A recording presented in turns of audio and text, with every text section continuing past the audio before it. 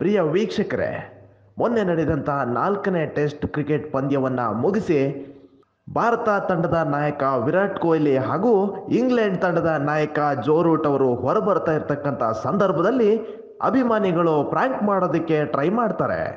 ಆದರೆ ಇಬ್ಬರು ಸಹ ಯಾವ ರೀತಿ ಪ್ರತಿಕ್ರಿಯಿಸಿದ್ದಾರೆ ಅನ್ನೋದನ್ನು ನೀವೇ ನೋಡಿ.